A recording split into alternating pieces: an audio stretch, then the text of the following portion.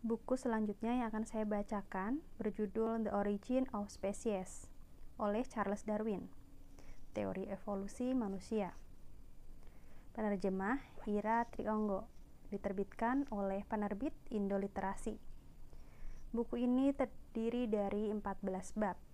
Bab yang pertama, variasi karena pembudidayaan ketika kita melihat individu-individu dari varietas yang sama atau subvarietas berbagai tanaman dan hewan budidaya, kami yang sudah lebih lama, salah satu dari hal pertama yang mengejutkan kita adalah mereka umumnya berbeda satu sama lain daripada individu-individu dari salah satu spesies atau variasi di alam.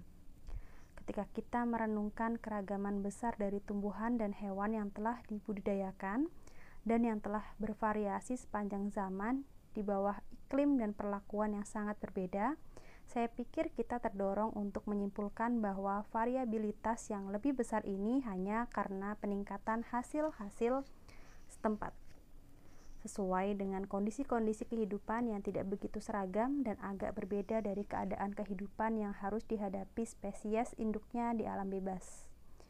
Menurut saya, ada juga beberapa kemungkinan dalam tampilan yang dikemukakan oleh Andrew, Andrew Knight bahwa variabilitas ini mungkin sebagian berhubungan dengan kelebihan makanan. Tampaknya cukup jelas bahwa makhluk hidup selama beberapa generasi pasti terpapar dengan kondisi baru kehidupan untuk menghasilkan cukup banyak variasi.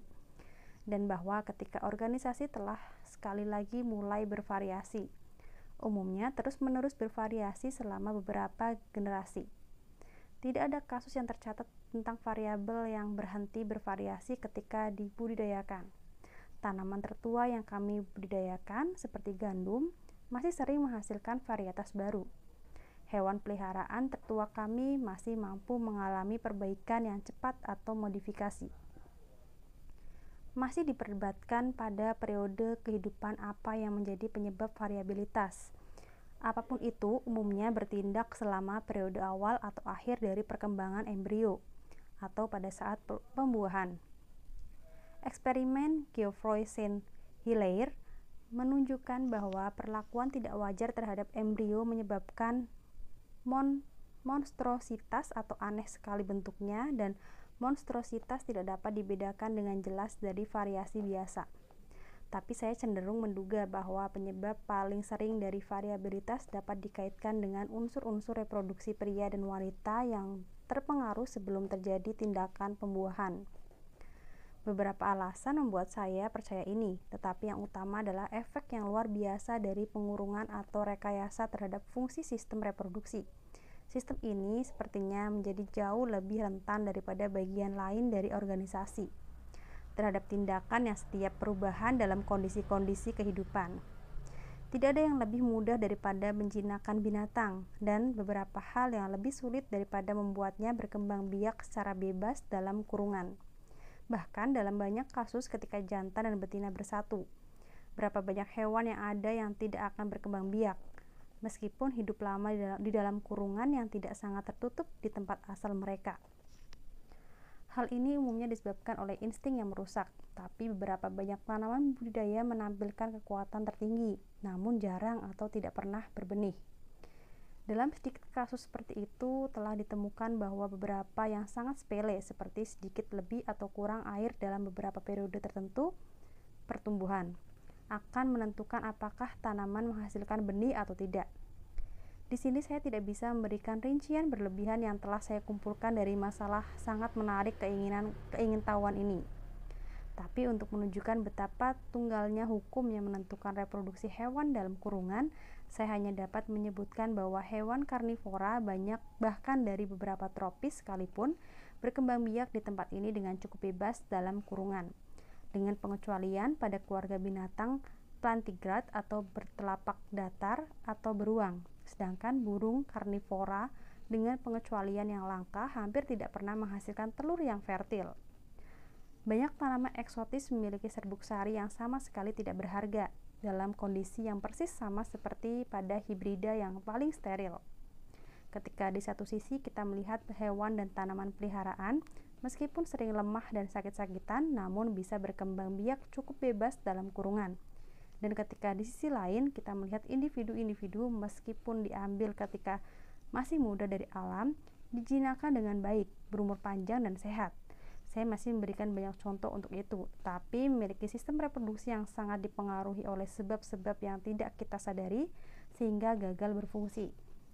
Kita tidak perlu heran terhadap sistem ini ketika sistem berfungsi dalam kurungan bertindak tidak seperti biasanya dan menghasilkan keturunan yang tidak sempurna seperti orang tua atau variabel mereka.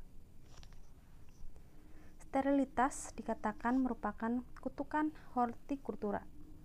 Tapi pada pandangan ini kita memberikan variabilitas untuk penyebab yang sama yang menghasilkan sterilitas.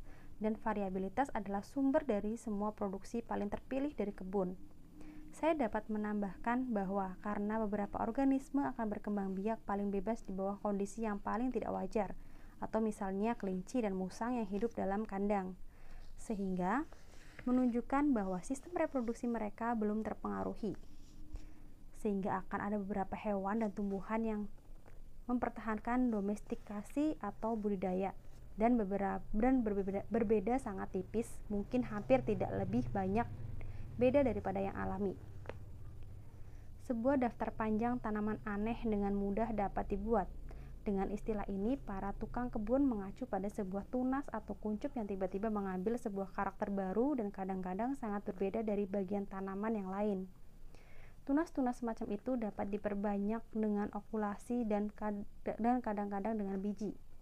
Keanehan ini sangat langka di alam, tetapi sangat tidak langka di dalam budidaya. Dan di dalam hal ini kita melihat bahwa perlakuan induk telah mempengaruhi tunas atau pucuk dan bukan ovul atau bakal biji atau serbuk sari. Tapi itu adalah pendapat dari kebanyakan ahli fisiologi bahwa tidak ada perbedaan penting antara tunas dan bakal biji dalam tahap paling awal pembentukan mereka. Sehingga pada kenyataannya keanehan mendukung pandangan saya bahwa variabilitas sebagian besar bisa disebabkan ovul atau serbuk sari atau keduanya yang telah dipengaruhi oleh perlakuan induk sebelum tindakan pembuahan. Kasus-kasus ini bagaimanapun juga menunjukkan variasi yang tidak berhubungan dengan tindakan generasi, seperti yang seharusnya ditunjukkan beberapa penulis. Tanaman bibit dari buah yang sama dan tanaman muda dari induk yang sama kadang-kadang sangat berbeda dari satu sama lain. Meskipun seperti yang dikatakan Müller, keduanya saat masih muda dan induk mereka hidup dengan dalam kondisi yang sama persis dan ini menunjukkan bagaimana tidak pentingnya efek langsung dari kondisi-kondisi kehidupan dibandingkan dengan hukum reproduksi, hukum pertumbuhan, dan hukum warisan untuk mengaruh kondisi-kondisi yang langsung. Jika salah satu tanaman muda itu bervariasi, maka semua itu kemungkinan akan bervariasi dengan cara yang sama. Untuk menilai berapa banyak dalam hal variasi apa pun, kita harus menghubungkannya dengan tindakan langsung dari panas, kelembapan, cahaya, makanan, dan lain-lain adalah hal yang paling sulit. Kesan saya bahwa pada hewan faktor-faktor tersebut memberi dampak langsung sangat kecil, sangat kecil, meskipun tampaknya lebih besar pada tanaman. Dalam sudut pandang ini, eksperimen terbaru Buck, Buckman pada tanaman tampak sangat berharga. Ketika semua atau hampir semua individu yang terpapar kondisi tertentu terpengaruh dengan cara yang sama, maka perubahan pada awalnya tampak sang, tampaknya langsung karena kondisi tersebut. Namun, dalam beberapa kasus dapat ditunjukkan bahwa kondisi sebaliknya menghasilkan perubahan struktur yang serupa. Namun, saya pikir sedikit perubahan bisa dikaitkan dengan tindakan langsung dari kondisi kehidupan. Seperti dalam beberapa kasus, peningkatan ukuran dari jumlah makanan, warna dari jenis makanan tertentu, dari cahaya, dan mungkin ketebalan bulu dari iklim. Kebiasaan juga memiliki pengaruh, seperti dalam periode berbunganya tanaman saat berpindah dari satu iklim ke iklim yang lain. Efek yang lebih nyata tampak pada binatang, misalnya saya menemukannya pada itik domestik atau peliharaan atau budidaya. Yang memiliki tulang sayap lebih ringan dan tulang-tulang kaki lebih berat. Dalam proporsinya dengan seluruh kerangka tulang dibandingkan tulang-tulang yang sama yang dimiliki itik liar dan saya menganggap bahwa perubahan ini bisa dikaitkan dengan itik peliharaan yang lebih jarang terbang dan lebih sering berjalan daripada induknya yang liar perkembangan besar dan diwaris, diwariskan pada ambing atau kelenjar susu pada sapi dan kambing di negara-negara di mana mereka biasa diperah dibandingkan dengan keadaan organ-organ ini di, di negara-negara lain adalah contoh lain dari pengaruh penggunaan. Tidak satupun hewan peliharaan yang dilaporkan di suatu negara yang bertelinga terkulai, dan pandangan yang dinyatakan oleh beberapa penulis bahwa telinga terkulai dikarenakan tidak digunakannya obat otot-otot telinga. Karena hewan itu jarang sekali mendengar suara bahaya, sepertinya mungkin saja benar. Ada banyak hukum yang mengatur variasi, beberapa di antaranya dapat dilihat samar-samar, dan selanjutnya akan dijelaskan secara singkat. Saya di sini hanya akan menyinggung apa yang disebut korelasi pertumbuhan. Setiap perubahan dalam embrio atau larva hampir pasti akan membawa perubahan pada hewan dewasa. Pada monstrositas, korelasi antara bagian-bagian yang sangat berbeda sangat menarik perhatian dan banyak contoh diberikan dalam karya besar Isidore Geoffroy Saint Hilaire mengenai hal ini. Para peternak percaya bahwa anggota badan yang panjang hampir selalu disertai dengan kepala yang memanjang. Beberapa contoh korelasi memang cukup aneh seperti kucing dengan mata biru yang selalu tuli, warna dan kekhasan sifat dasar berjalan bersama, dan dari situ banyak kasus yang luar biasa diberikan dari hewan dan tumbuhan. Dari fakta-fakta yang dikumpulkan oleh Husinger, tampak bahwa domba putih dan babi putih terkena dampak yang berbeda dibandingkan dari domba dan babi yang berwarna oleh racun sayuran tertentu. Anjing yang tidak berbulu memiliki gigi yang tidak sempurna. Hewan yang berbulu panjang dan kasar cenderung untuk memiliki tanduk yang panjang atau banyak. Merpati dengan kaki berbulu memiliki kulit di antara jari kaki luarnya. Merpati dengan paruh pendek memiliki kaki kecil dan merpati dengan paruhnya yang panjang mempunyai kaki besar. Oleh karena itu, jika orang terus menyeleksi dan menambah keganjilan apa pun, maka hampir pasti tanpa disengaja dia akan mengubah bagian luar dari struktur yang disebabkan oleh hukum korelasi pertumbuhan yang misterius. Hasil dari berbagai hukum variasi yang tidak banyak diketahui atau samar-samar terlihat sangat kompleks dan beragam. Maka seharusnya untuk mempelajari beberapa risalah yang diterbitkan tentang beberapa tanaman kuno kita yang dibudidayakan seperti bunga bakung, kentang, bahkan dahlia dan lain-lain dan benar-benar mewujudkan untuk mencatat hal-hal tanpa batas tentang struktur dan kondisi jasmani di mana variasi dan subvariasi agak saling berbeda satu sama lain. Seluruh organisasi tampaknya telah menjadi gampang berubah dan dalam derajat kecil cenderung untuk sedikit menyimpang dari tipe induknya.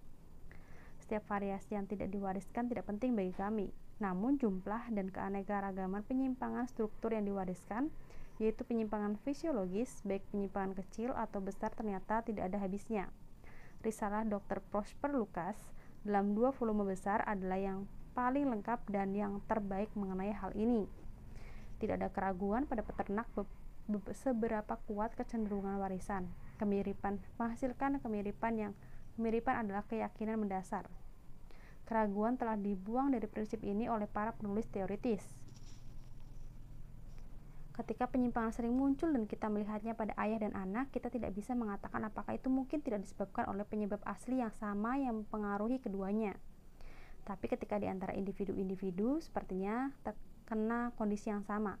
Setiap penyimpangan yang sangat langka karena beberapa kombinasi keadaan yang luar biasa muncul pada induk. Katakanlah sekali di antara beberapa juta individu dan muncul kembali pada anak maka doktrin tentang kemungkinan hampir memaksa kita untuk mengaitkan kemunculannya kembali dengan pewarisan. Setiap orang pasti pernah mendengar kasus albinisme, berapa kulit berbintik-bintik, tubuh berbulu, dan lain-lain yang tampak pada beberapa anggota keluarga yang sama. Jika penyimpangan struktur yang aneh dan langka benar-benar bisa diwariskan, maka penyimpangan yang tidak terlalu aneh dan biasa saja dapat diakui sebagai yang diwariskan. Mungkin cara yang benar dalam melihat seluruh masalah adalah dengan melihat pewarisan dari setiap karakter apa pun sebagai aturan dan melihat yang bukan pewarisan sebagai anomali atau kelainan. Hukum yang mengatur pewarisan tidak banyak diketahui, tidak ada yang bisa mengatakan mengapa keganjilan yang sama pada individu yang berbeda dari spesies yang sama dan pada individu dari spesies yang berbeda kadang-kadang diwariskan dan kadang-kadang tidak begitu. Mengapa anak sering kembali pada karakter tertentu dari kakek atau neneknya atau nenek moyang moyangnya yang lebih jauh lainnya. Mengapa keganjilan sering ditularkan dari satu jenis kelamin ke dua jenis kelamin? Atau satu jenis kelamin saja lebih umum tetapi tidak eksklusif untuk jenis kelamin serupa. Ini adalah fakta yang paling penting bagi kami bahwa keanehan muncul pada pejantan peliharaan kita sering ditularkan secara eksklusif atau di tingkat yang lebih, jauh lebih besar. untuk jantan saja. Aturan yang jauh lebih penting yang saya pikir dapat dipercaya adalah pada periode apa pun kehidupan keganjilan pertama kali muncul itu cenderung muncul pada keturunannya pada usia yang cocok, meskipun kadang-kadang lebih awal. Dalam banyak kasus ini bisa bisa tidak sebaliknya. Dengan demikian, keanehan yang diwariskan pada tanduk sapi bisa muncul hanya pada keturunannya ketika hampir dewasa. Keanehan pada ulat sutra diketahui muncul di ulat kepompong atau tahap yang sesuai, tapi penyakit keturunan dan beberapa fakta lain membuat saya percaya bahwa aturan memiliki eksistensi yang lebih luas. Dan bahkan ketika tidak ada alasan yang jelas mengapa keganjilan akan muncul pada setiap usia tertentu. Namun itu cenderung muncul pada keturunannya pada periode yang sama ketika pertama kali muncul pada induknya. Saya percaya aturan ini menjadi yang paling penting dalam menjelaskan hukum-hukum embriologi. Pernyataan itu tentu saja terbatas pada penampilan pertama dari keganjilan dan bukan pada penyebab utamanya yang mungkin telah mempengaruhi ovul atau elemen jantan. Dengan cara yang hampir sama seperti pada keturunan silang dari sapi bertanduk pendek dari banteng bertanduk panjang yang tanduknya lebih panjang jelas dikarenakan oleh unsur jantan, meskipun itu muncul di usia tua. Setelah menyinggung masalah reversi, atau pengembalian ke sifat semula, di sini saya bisa merujuk pada pernyataan yang sering dibuat oleh kaum naturalis, yaitu bahwa variasi-variasi peliharaan kita ketika dibiarkan liar secara bertahap tapi pasti akan kembali ke karakter asli mereka. Oleh karena itu muncul pendapat bahwa tidak ada kesimpulan yang tidak bisa ditarik dari binatang peliharaan ke spesies pada saat pada sifat alamnya. Saya telah berusaha dengan sia-sia untuk mengungkap fakta-fakta tipuan apa saja yang sering kali diungkapkan secara terang-terangan. Sangat sulit untuk membuktikan kenyataan ini, maka yang paling aman ialah kita berkesimpulan bahwa banyak sekali varietas-varietas peliharaan yang sangat mencolok yang tidak mungkin hidup di alam liar. Dalam banyak kasus kita tidak tahu yang mana golongan aslinya. Kita tidak dapat mengatakan bahwa telah terjadi suatu reversi yang hampir sempurna atau tidak. Agar bisa menghindari adanya pengaruh dari persilangan, maka perlu satu varietas tunggal yang beralih secara bebas ke tempat barunya. Namun demikian, karena varietas kami bisa dipastikan kadang-kadang kembali dalam beberapa karakter mereka dengan bentuk leluhur, menurut saya tidak mustahil bahwa jika kita berhasil dalam menaturalisasikan atau dalam membudayakannya selama beberapa generasi, maka beberapa ras, misalnya kubis di tanah yang sangat jelek atau dalam dalam hal ini beberapa efek harus dikaitkan dengan tindakan langsung dari tanah yang buruk bahwa mereka akan mereka akan untuk sebagian besar atau bahkan seluruhnya kembali ke kelompok asli yang liar. Apakah eksperimen ini akan berhasil atau tidak, tidaklah penting bagi jalur argumen kita. Sebab dengan eksperimen itu sendiri keadaan hidup berubah bisa ditunjukkan bahwa variasi-variasi peliharaan kita menampakkan kecenderungan kuat untuk kembali dari yaitu hilangnya sifat-sifat yang telah didapatkannya sementara dipelihara dalam kondisi yang sama dan sementara dalam tubuh atau badan yang memadai sehingga persilangan bebas bisa memberikan variasi-variasi kecil dalam struktur lewat percampuran bersama dan dalam kasus seperti itu saya berpendapat kalau kita tidak bisa menyimpulkan apanya apa pun dari varietas-varietas yang berkaitan dengan spesies. Tapi di sini tidak terdapat bayangan petunjuk-petunjuk petunjuk untuk kepentingan pandangan ini. Pernyataan bahwa kita tidak dapat mengembangbiakan kuda tarik dan kuda balap, mengembangkan ternak bertanduk panjang dan bertanduk pendek, unggas dari berbagai jenis dan sayuran-sayuran yang dapat dimakan, selama generasi-generasi yang tanpa batas akan bertentangan dengan semua pengalaman. Saya dapat menambahkan bahwa kondisi kehidupan pasti berubah ketika berada, berada dalam kondisi alami, variasi dan reversi karakter mungkin terjadi, tapi seleksi alam seperti yang akan dijelaskan selanjutnya akan menentukan seberapa jauh karakter yang karakter baru yang timbul harus dilestarikan. Ketika kita melihat varietas keturunan atau ras hewan dan tanaman yang dibudidayakan dan kemudian membandingkannya dengan spesies yang serumpun, kita umumnya memandang setiap jenis peliharaan sebagaimana yang telah dikatakan terdapat sifat-sifat kurang seragam daripada dalam setiap spesies yang asli. Ras peliharaan dari spesies yang sama juga memiliki karakter yang cukup luar biasa. Yang saya maksud adalah meskipun berbeda satu sama lain dan dari spesies lain dari genus yang lain yang sama, Dalam beberapa hal kecil, mereka sering berbeda dalam tingkat ekstrim dalam beberapa bagian, baik bila, bila dibandingkan satu sama lain dan lebih khusus lagi bila dibandingkan dengan semua spesies di alam bebas tempat mereka berkerabat. Dengan pengecualian-pengecualian ini dan dengan kesuburan sempurna dari varietas-varietas bila disilangkan, satu pokok tanaman yang selanjutnya ini akan dibahas.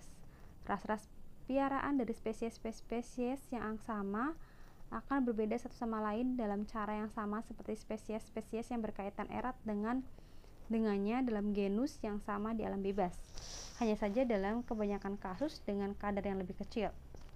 Saya pikir ini harus diakui ketika kita menemukan bahwa hampir tidak ada ras piaraan baik di antara hewan atau tumbuhan yang belum digolongkan oleh sebagian ahli yang kompeten sebagai varietas belaka dan oleh sebagian ahli lain yang kompeten sebagai keturunan dari spesies asli yang berbeda. Jika ada perbedaan mencolok di antara ras piaraan dan spesies, maka sumber keraguan ini biasanya tidak akan bertahan lama. Seringkali dinyatakan bahwa ras piaraan tidak berbeda satu sama lain dalam karakter-karakter umumnya.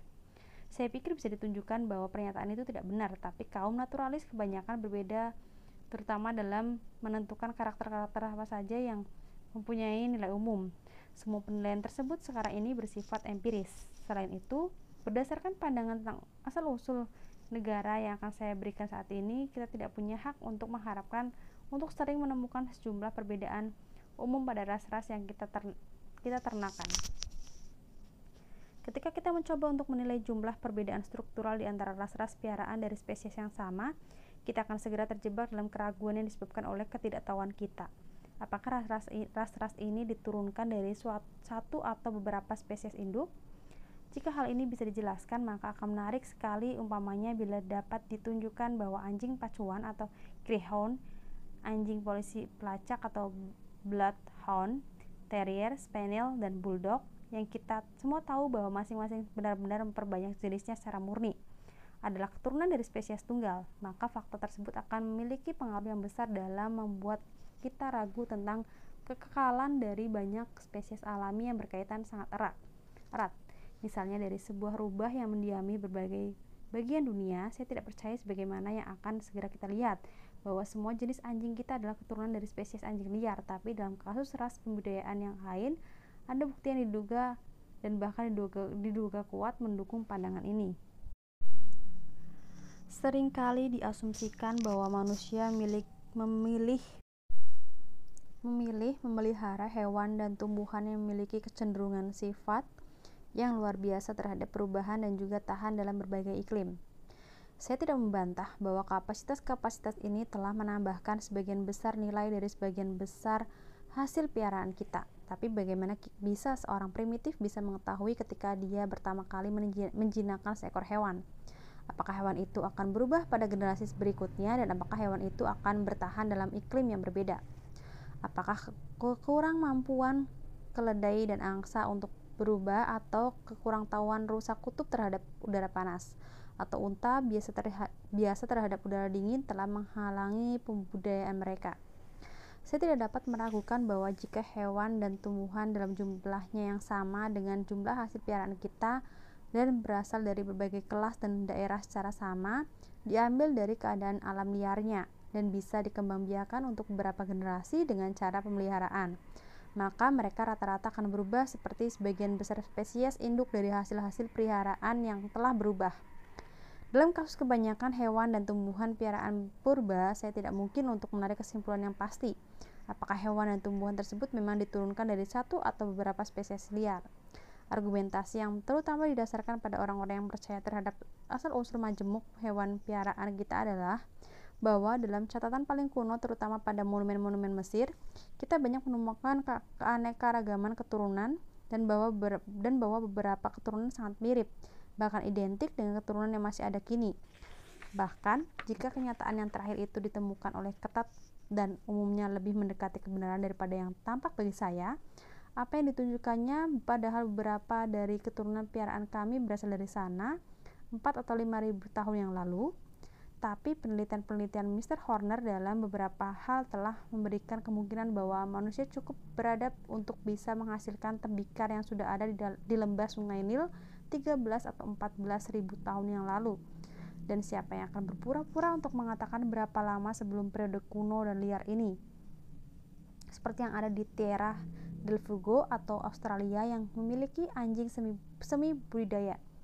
Belum ada di Mesir, saya pikir seluruh permasalahan masih tetap kabur, meskipun demikian tanpa memasukkan setiap detail di sini.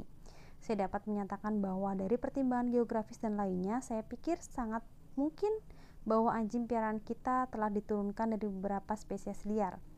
Namun dalam kaitan dengan domba dan kambing, saya tidak dapat memberikan pendapat. Saya harus berpikir dari dari fakta-fakta yang disampaikan kepada saya oleh Mr. Bleed tentang kebiasaan suara, keadaan tubuh, dan lain-lain dari ternak India terpunuk bahwa ternak ini telah diturunkan dari suatu ras ternak asli yang berbeda dari hewan ternak Eropa kami dan beberapa pengamat yang kompeten percaya bahwa hewan-hewan yang telah disebut terakhir itu memiliki lebih dari satu hewan nenek moyang liar. Mengenai kuda, berdasarkan alasan yang tidak bisa saya berikan di sini dengan ragu saya cenderung percaya meskipun bertentangan dengan beberapa penulis lain bahwa semua ras berasal dari spesies yang sama. Mr. Blade yang, ber, yang pendapatnya berasal dari pengetahuan yang luas dan beragam yang harus saya hargai lebih daripada pendapat siapa pun. Berpikir bahwa semua keturunan unggas berasal dari unggas liar India biasa atau Gallus bankiva mengenai bebek dan kelinci yang beberapa keturunannya sangat berbeda satu sama lain dalam struktur, saya tidak ragu bahwa mereka semua telah diturunkan dari bebek dan kelinci liar biasa. Doktrin tentang asal-usul dari berbagai ras binatang piaraan dari beberapa ras asli telah dibawa ke suatu perbedaan yang sangat tidak masuk akal oleh beberapa penulis.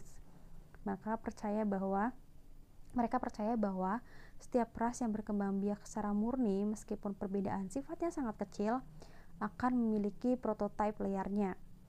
Pada tahap ini tentu telah diperoleh setidaknya sejumlah spesies ternak liar seperti banyak domba dan kambing di Eropa saja, dan bahkan beberapa di Inggris. Seorang penulis berpendapat bahwa dulunya ada 11 spesies domba liar yang khas di Inggris. Ketika kita ingat bahwa sekarang ini Inggris tidak mempunyai satu mamalia yang khas yang dan Prancis hanya memiliki sedikit binatang mamalia yang dengan yang dengan yang di Jerman. Demikian pula halnya dengan Hongaria, Spanyol, dan lain-lainnya. Tetapi masing-masing dari wilayah ini memiliki beberapa keturunan khas dari ternak, domba, dan lain-lain. Meski kita harus mengakui bahwa banyak keturunan piaraan yang berasal dari Eropa, sebab bila tidak begitu, dari mana lagi hewan-hewan tersebut dapat diturunkan?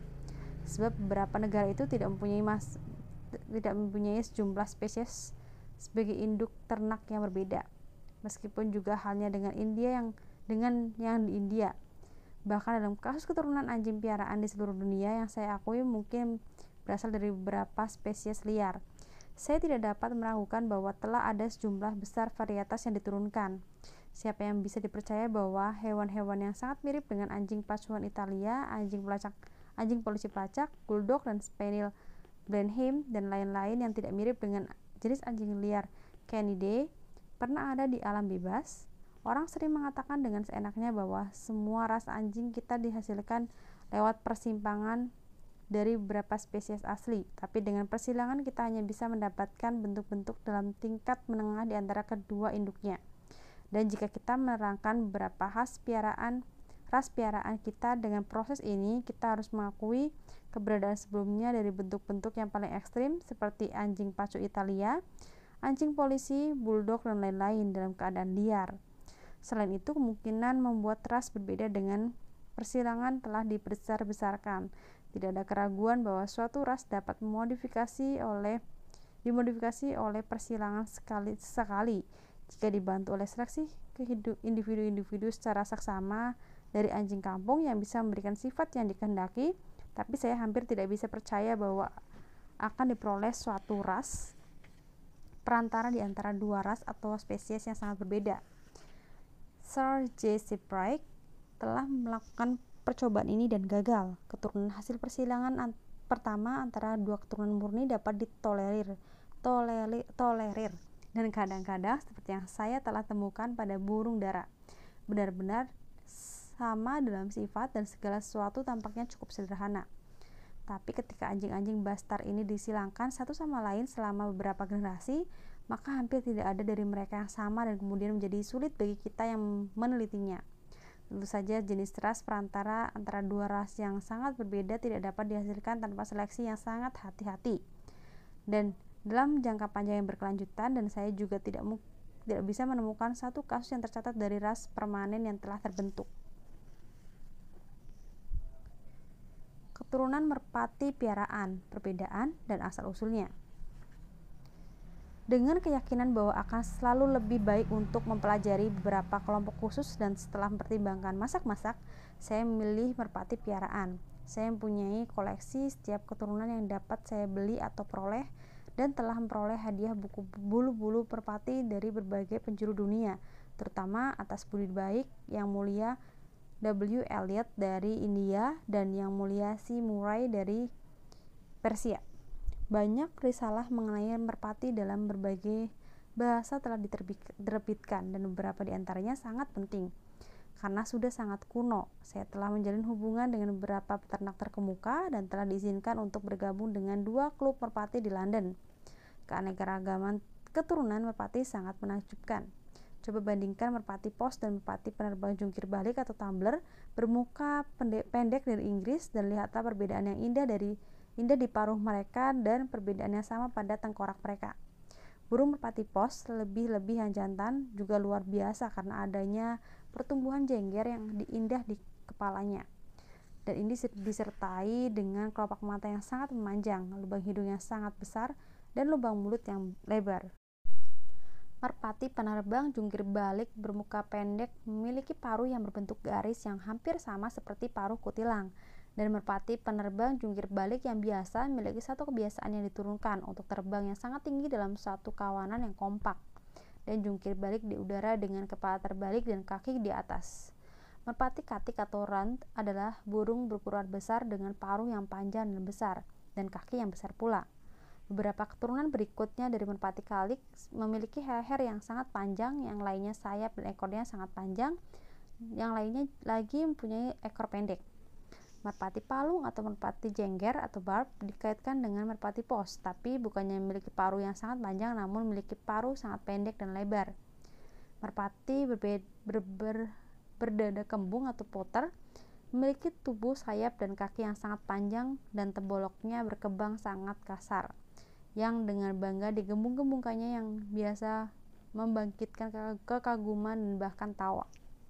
Merpati berkepala pendek atau turbit memiliki paruh yang sangat pendek dan berbentuk kerucut dengan baris bulu-bulu terbalik menurun ke dadanya dan merpati ini mempunyai kebiasaan untuk selalu agak mengembangkan bagian atas kerongkongannya.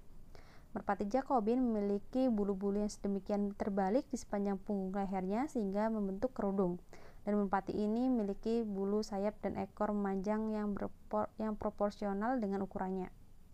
Merpati trompet atau trumpeter dan merpati tertawa atau longer beberapa sebagaimana yang diungkapkan oleh nama mereka mengeluarkan suara dekut yang sangat berbeda dari ras lain. Merpati ekor kipas atau fantai, fantail memiliki 30 atau bahkan 40 helai bulu ekor, bukannya 12 atau 14 yang merupakan jumlah normal pada semua keluarga besar merpati.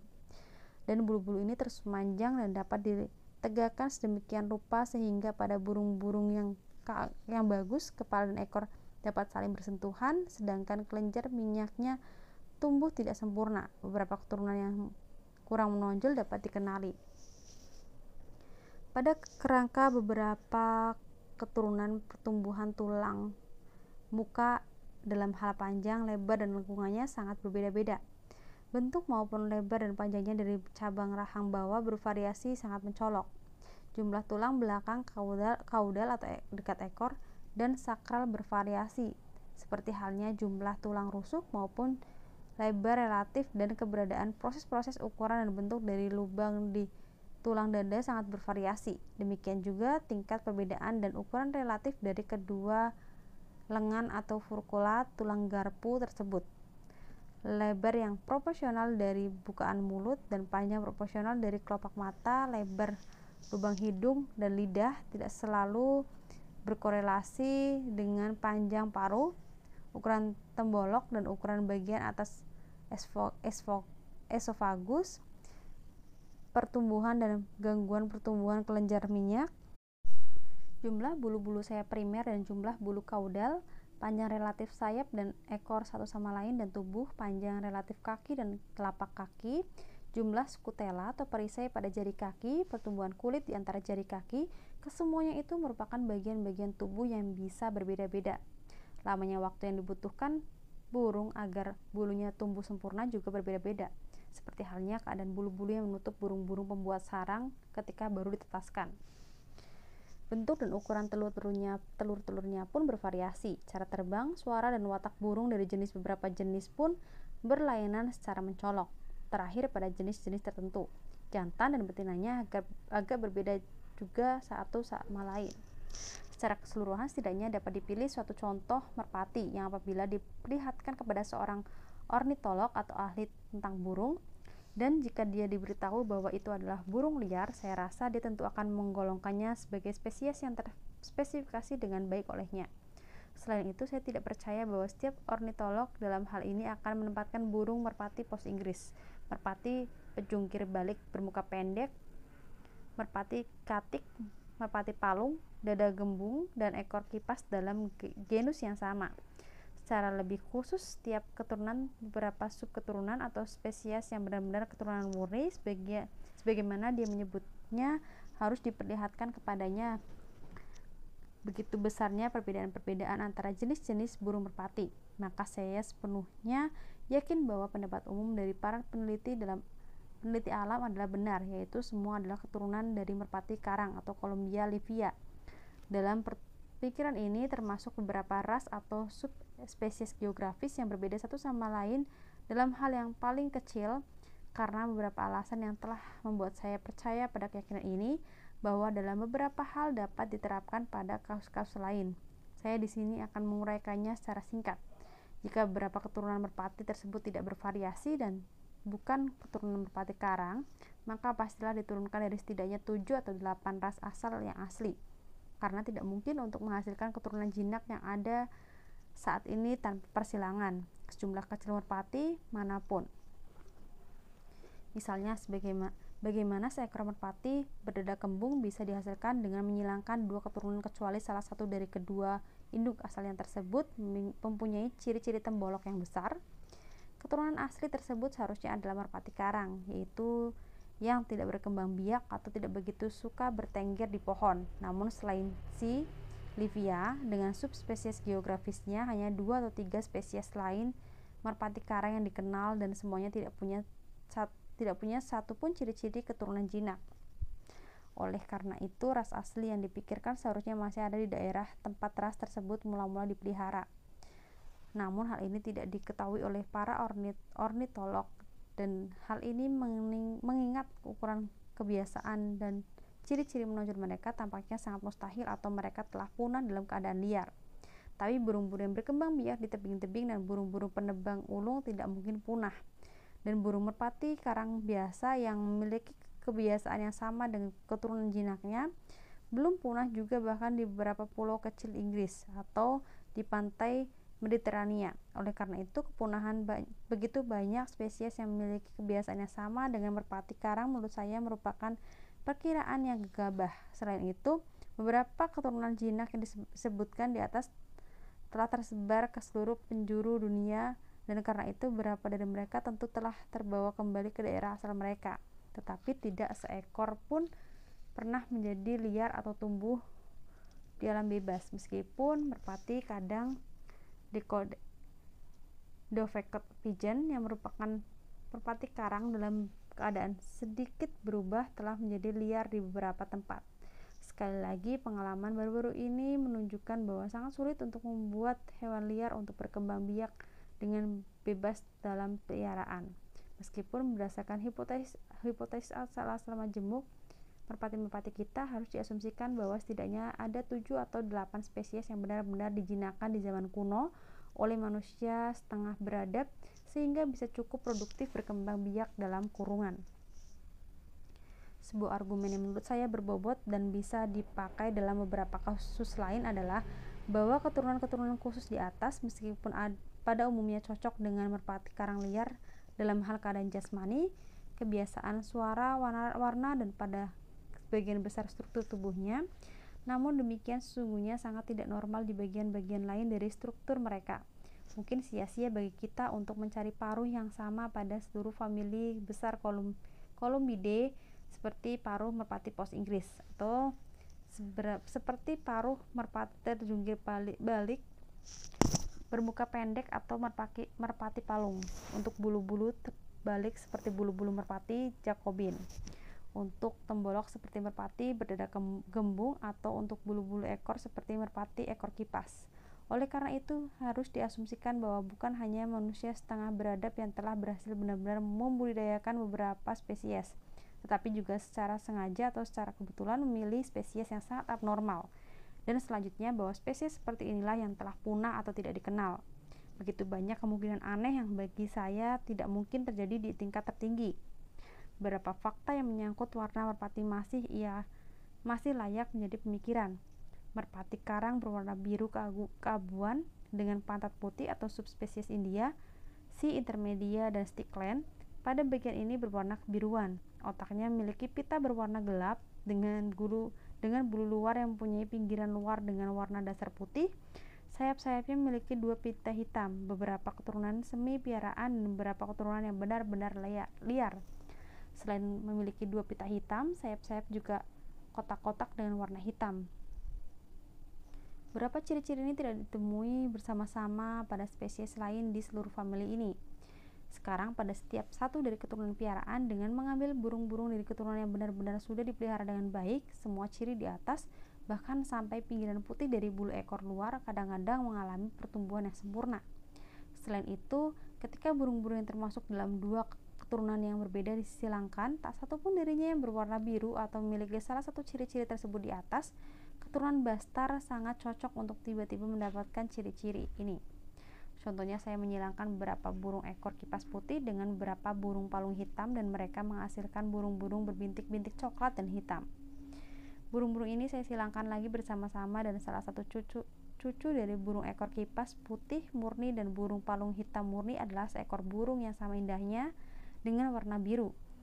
Pantat putih, garis putih ganda pada sayap, dan bulu-bulu ekor berstrip dan bertepi putih seperti setiap merpati karang liar kita tidak memahami fakta-fakta ini berdasarkan prinsip pembalikan kepada ciri-ciri nenek moyangnya yang telah sangat dikenal itu.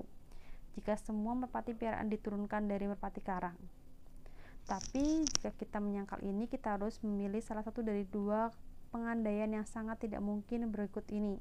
Pertama, entah bahwa semua dari beberapa ras asli yang dipikirkan itu berwarna dari ciri-ciri berciri-ciri seperti merpati karang. Meskipun tidak ada spesies lain yang sudah ada yang berwarna yang berciri-ciri tersebut. Sehingga mungkin pada setiap keturunan yang terpisah terdapat kecenderungan untuk kembali ke warna dan ciri-ciri yang sama. Atau kemungkinan kedua bahwa setiap keturunan bahkan yang paling murni sekalipun sekurang-kurangnya dalam selusin generasi atau sebagian banyaknya dalam sejumlah besar deretan generasi telah disilangkan dengan merpati